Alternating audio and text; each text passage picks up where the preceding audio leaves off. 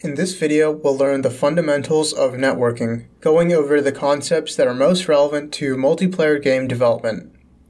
We have a community Discord server, so if you have any questions or just want to say hello, feel free to hop in using the link below. So, the internet is more or less a network of networks containing billions of connected computing devices, ranging from PCs, laptops, and servers to tablets, phones, smart fridges, and whatever else you can think of. Data travels through the internet in little chunks called packets. These packets travel to their destination through various communication links, and protocols are what control the sending and receiving of these messages across the network. You can think of the internet as a provider of two types of services to applications connectionless and connection oriented. These correspond to UDP and TCP respectively. TCP, the Transmission Control Protocol, is one of the most widely used protocols for data transfer between end systems. It revolves around the idea of a connection, and until either the client or server closes the connection, it'll stay open.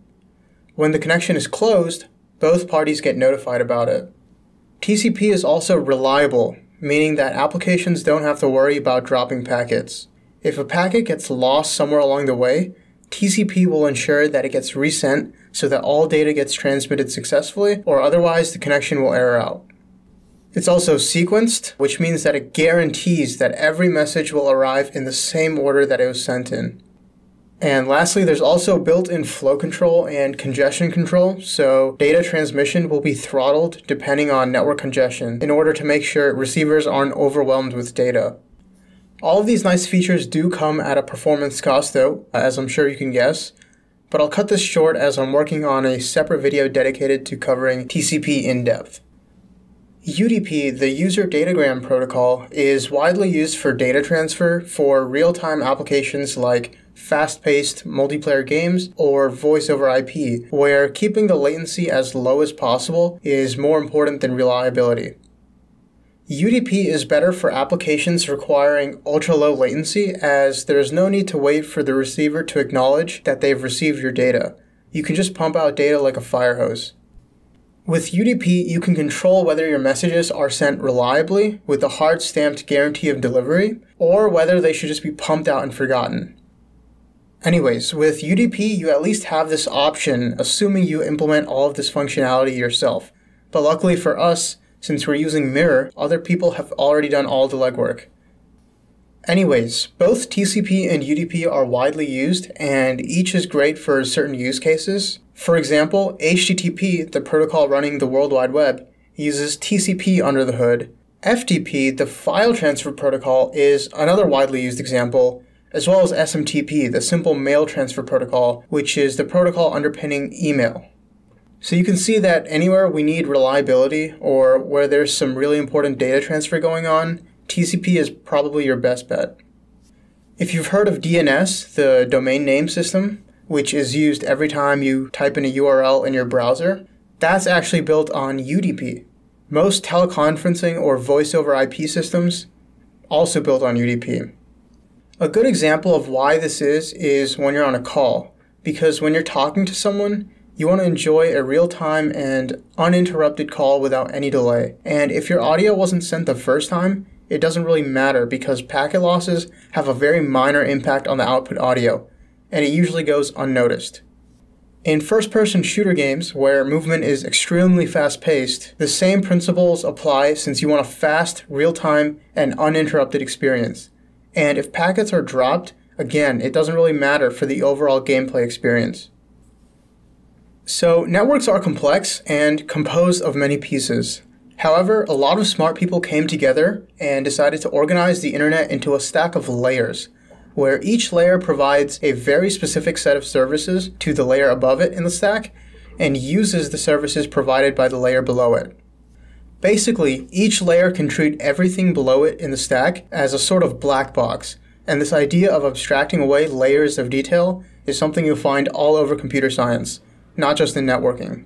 So the very bottom layer of the Internet Protocol stack is the physical layer, and this is where the individual bits, the ones and zeros, are inserted on the wire, so to speak, where a wire just means any sort of communication channel or medium. Right above it is the link layer, which handles data transfer between nodes on a network segment across the physical layer. A good example of something that touches both the link layer and the physical layer of the stack is the Ethernet protocol, which I'm sure you've at least heard the name of before. Above the link layer is the network layer, and this handles the routing of packets from their source to their destination. This layer supports the transport layer, which provides end-to-end communication between processes. TCP and UDP are transport layer protocols, and I think you can start to see how each of these layers is starting to build up to give us, the developers, services that are high level and easier to work with. Uh, speaking of which, the final layer sitting on top of the transport layer is the application layer, and this is the very top of the stack that supports networked applications. Some of the most common examples here are HTTP, FTP, and SMTP, like I mentioned earlier. Now to better understand what's going on here and how the layers are connected, let's go through a quick example of how data may be transferred from a source to a destination. So at the source, we have an application that wants to send a message to the destination. At the sender, each layer on the protocol stack takes data from above, adds header information to create a new data unit, and then passes that new data unit to the layer below. So you can see our original message becomes a segment at the transport layer, then a datagram at the network layer, and then a frame at the link layer. It then gets sent over the physical layer to the receiver, where this process is reversed as we go back up the stack until our message reaches its destination.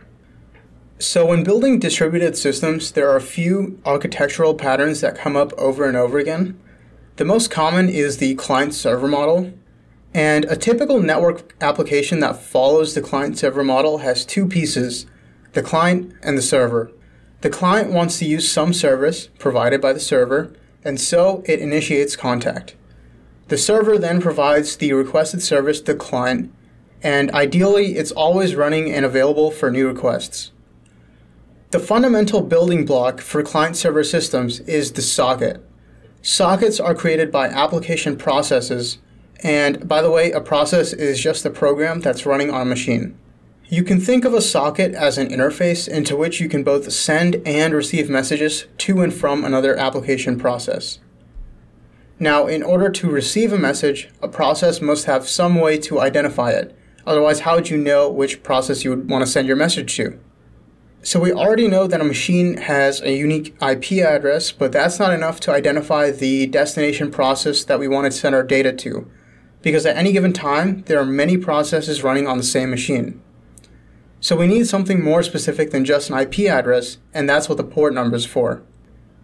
To connect to a server and start sending it messages, we need both the IP address and the port number associated with the server process on that machine.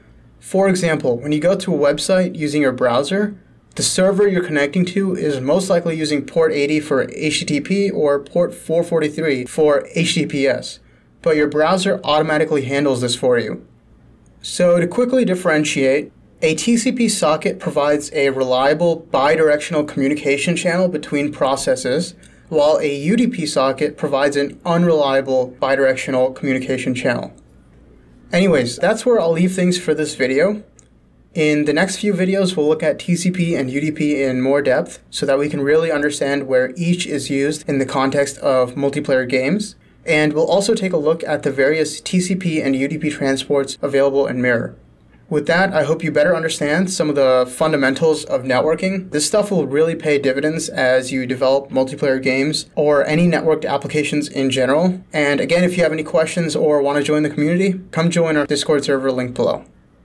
Thanks for watching and see you next time.